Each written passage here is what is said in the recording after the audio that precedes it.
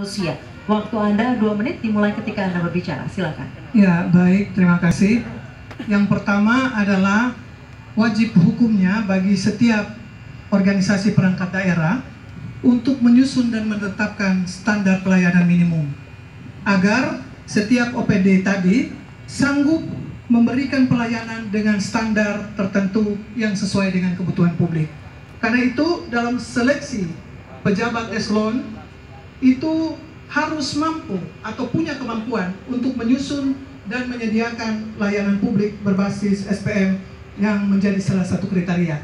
Jadi untuk jabatan-jabatan tertentu setiap uh, pejabat eselon harus mampu untuk membuat standar pelayanan minimum.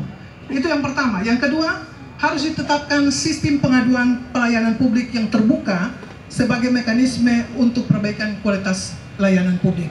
Dan yang ketiga, ada berbagai keluhan tentang apa yang dinamakan dengan perizinan maupun yang lainnya.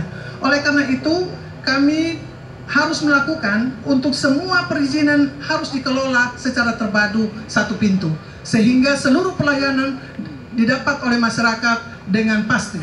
Dan yang keempat, dalam prakteknya ternyata di dalam pelaksanaan untuk perizinan-perizinan ternyata masing-masing OPD masih melakukan itu.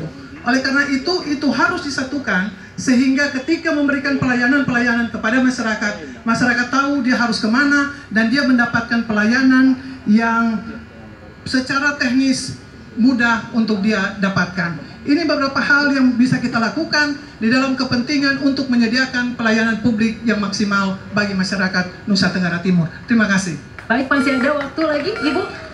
Dipersilakan untuk menambahkan sedikit. Oke.